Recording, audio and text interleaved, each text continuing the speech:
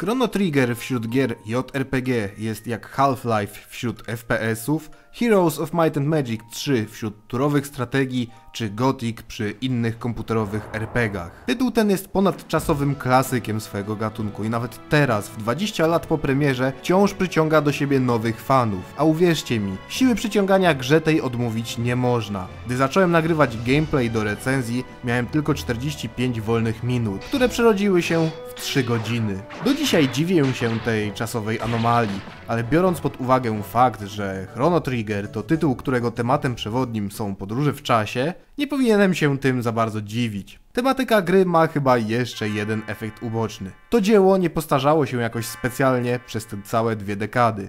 Kolorowa, piękna, dwuwymiarowa grafika wciąż cieszy oczy i nawet nie wyróżnia się spośród dzisiejszych tytułów, które podążając za nową modą chcą wyglądać retro. Muzyka dzisiaj dokładnie tak jak przed laty zachwyca, a zwrócę tu uwagę, że jest tutaj niemal 2,5 godziny ścieżki muzycznej, które oryginalnie umieszczone były na 32 megabitowym kartridżu. W jaki sposób to wszystko zostało wciśnięte do nośnika o tak małej pojemności? Według History Channel to zapewne sprawka obcych. Jedyny problem z grami, które obrosły takim kultem, jest taki, że nie można o nich absolutnie nic złego powiedzieć, by ktoś z internetu nie obstrał gaci ze złości. Ale to tak na marginesie. Na pierwszy rzut oka Chrono Trigger jest od standardową jak na SNESa grą od RPG stworzoną przez Square. Mamy tutaj mapę świata, po której przemieszczamy się celem znalezienia interesującej nas lokacji czy sklepu. W samych lokacjach, co jest dość niespotykane jak na ten gatunek, możemy zobaczyć przeróżne potwory, które można ominąć lub zaatakować. Istnieją oczywiście oskryptowane miejsca, w których nie mamy wyboru, jak tylko stanąć do batalii z wrogiem, lecz te są nieliczne. Podczas walki mamy do czynienia z systemem ATB, czyli aktywny czas walki. Jest to system, w którym oczywiście walczymy turowo, jednak to, czyja jest teraz pora na akcję, jest predeterminowane przez jego atrybut szybkości. Im wyższy, tym szybciej wypełnia się jego pasek gotowości. Jest to świetny system, który poza samą strategią wymaga szybkiego myślenia, gdyż wrogowie nie będą czekać, aż raczymy zdecydować się na jakąś akcję. Podczas samej walki możemy standardowo używać przedmiotów z ekwipunku, atakować lub korzystać ze specjalnych umiejętności, które pobierają określoną ilość punktów mana. Co ponownie jest nowatorskie i ciekawe, nasi bohaterowie mogą wykonywać potężne łączone ataki, by wspólnymi siłami zadać ogromne obrażenia lub w inny sposób zmienić działanie zaklęcia. Gra zwłaszcza na bossach będzie od nas wymagała eksperymentowania z atakami i dobierania odpowiedniej taktyki. Używanie nieustannie tylko najsilniejszych ataków odniesie marny skutek w większości takich walk. Za wygrane batalie otrzymujemy losowe przedmioty, złoto, doświadczenie i tech points. Te ostatnie odblokowują nam kolejne umiejętności po zebraniu odpowiednich ilości. Dobrze, lecz co z tym, co w RPG liczy się najbardziej? Czyli fabuła i postaci. Na temat fabuły w Chrono Trigger można pisać całe referaty, w których dokonywana jest dogłębna analiza zdarzeń, których będziemy świadkiem.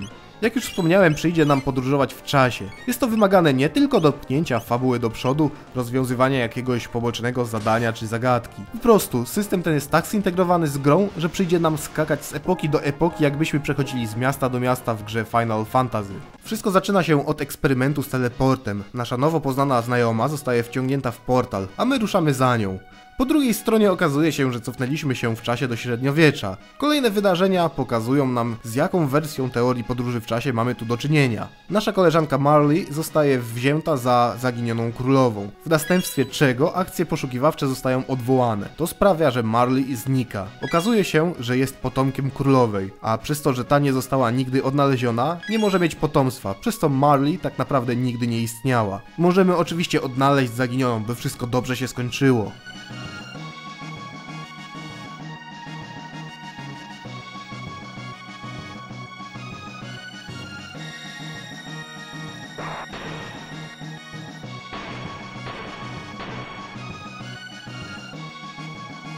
Po kolejnej serii wydarzeń wylądujemy w postapokaliptycznej przyszłości, w której resztki ludzkości starają się przeżyć w ponurym, zniszczonym świecie opanowanym przez mutantów i roboty. Klimat tego miejsca bardzo przypomina Fallouta i kontrastuje z kolorową, sielankową przeszłością, z której my pochodzimy. Ten kontrast właśnie wzbudza w graczu emocje i sprawia, że mimowolnie zastanawiamy się nad przyszłością naszego własnego świata. W końcu, w tej całej przyszłości natrafiamy na komputer z archiwalnym nagraniem dnia, w którym rozpoczęła się apokalipsa. Nagrania te ukazują ogromne stworzenie wychodzące z jądra planety. Owy potwór zwie się Lavos, jest kosmicznym pasożytem, który pochłania całe światy. Nasza drużyna obiecuje sobie, że wykorzysta możliwość podróży w czasie, by ocalić planetę.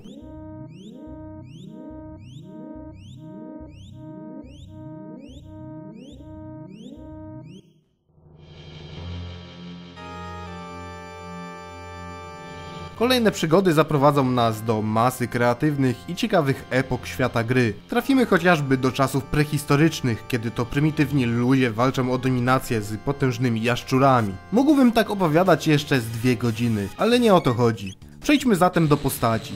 Jest ich 6 grywalnych plus jedna grywalna opcjonalna, którą nie tak łatwo zrekrutować, aczkolwiek warto, bo jego ataki są silniejsze od naszych dotychczasowych połączonych wysiłkiem całej drużyny. Każda z postaci grywalnych poza samym Krono, który jest jakby głównym protagonistą, jest niezwykle ciekawa i ma bogaty background fabularny. Każdą z nich dobrze poznamy jej przeszłość i motywy, zanim dołączyła do naszej drużyny. Chociaż jeśli mam być szczery, to do chwili, gdy poznajemy i możemy zrekrutować tą opcjonalną postać, i tak poruszam się w ekipie złożoną z Krono i dwóch dziewczyn przez całą grę jak tylko mogę. Oczywiście są etapy, w których musimy mieć w drużynie wielką człowiekokształtną żabę czy tego wielkiego robota. I są to jak najbardziej fajne etapy, aczkolwiek ja po prostu nie za bardzo lubię te postaci. Robot dla mnie jest dużo zbyt powolny, chociaż bardzo potężny i odporny, a żaba to żaba. Nie wiem, kto normalny chciałby mieć żabę w drużynie. Zamiast żaby można mieć ładną blondyneczkę, albo potężną dziewczynę maga. Wszystko można mieć zamiast żaby. Nawet tego wielkiego gównianego robota. No, zastanówcie się nad tym trochę. Po co komu żaba w drużynie?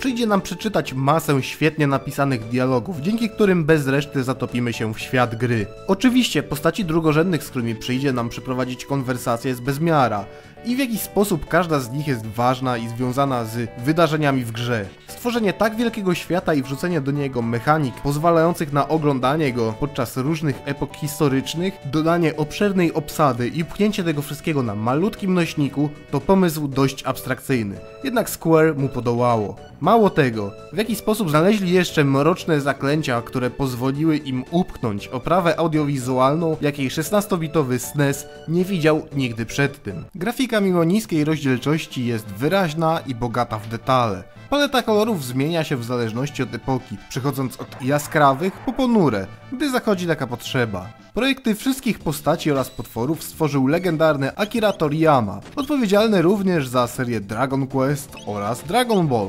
Dlatego też widzimy takie podobieństwa naszej drużyny do Goku, Bulmy i reszty bandy. Jeśli mam być szczery, a nie ma powodu bym nie był, to nie lubię stylu Akiry.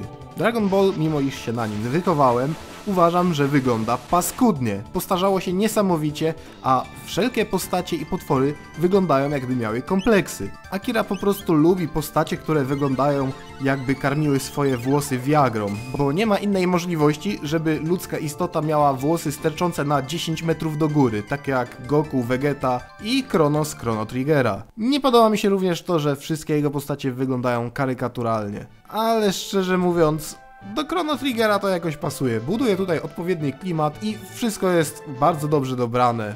Nie wiem, w przypadku tej gry, jak i późniejszych Dragon Questów, z tym stylem nie mam większego problemu. Może to kwestia tego, że po prostu nie lubię Dragon Balla, nie wiem. Poza tym, co jeszcze nam się rzuca w oczy, to niezwykłe animacje postaci. Każda ma jej wiele klatek, a animacji poddane zostały nawet włosy oraz ubrania. Robi to ogromne wrażenie za sprawą wspomnianego już ograniczonego nośnika. To samo tyczy się udźwiękowienia. Realistycznie brzmiące odgłosy tła, takie jak szum morza czy drzew w lesie, robiły wrażenie, a dzisiaj wciąż brzmią bardzo ładnie. Jednak to muzyka jest tutaj główną atrakcją jest piękna. Był to szczyt tego, co było można wycisnąć ze SNESa i dzięki temu nawet dzisiaj słucha się jej przyjemnie. Brzmi bardzo realistycznie, to prawda, ale ważniejsze jest to, że jest po prostu piękna i jak cała reszta produkcji ponadczasowa.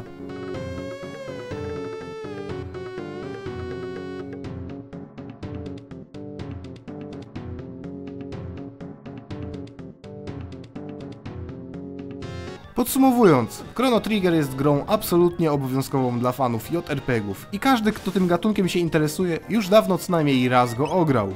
Ci, którzy jeszcze tego nie zrobili, powinni się za to zabrać. Oryginalna gra ukazała się na Super Nintendo. I tą wersję można zakupić na Virtual Console, ale tego odradzam. Znacznie lepszym i pełniejszym wydaniem jest to na PlayStation 1, dostępne również na PSN. Posiada ono znacznie lepsze tłumaczenie, dzięki czemu przyjemniej czyta się wyśmienite dialogi. Do tego ma więcej zakończeń oraz wstawki anime stworzone przez ekipę Akiry Toiriyamy. Wersja ta posiada czasy ładowania pomiędzy lokacjami, lecz te nie są rażące. Oczywiście żadna z tych wersji nie została wydana w Europie, bo my nigdy nie zasługiwaliśmy na dobre gry, więc w ruch musi iść jak zwykle amerykańskie konto PSN. Została u nas wydana wersja na DS-a, ale nie miałem z nią styczności. Czy Chrono Trigger to najlepszy JRPG jaki powstał? Jeśli twoja odpowiedź jest pozytywna, to masz rację. Ja osobiście uważam, że Chrono Cross oraz Xenogears są grami doskonalszymi, ale to kwestia gustu. Okej, jak zwykle zachęcam Was do komentowania, lajkowania, subskrybowania i przede wszystkim śledzenia mnie na Facebooku, bo warto. Organizuję na nim przeróżne głosowania, na przykład właśnie recenzja Chrono Crossa to wynik głosowania na temat kolejnej mojej recenzji.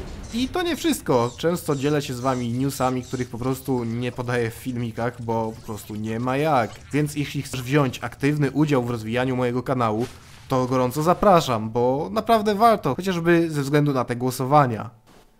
Okej, to by było na tyle. Trzymajcie się, do usłyszenia. Cześć.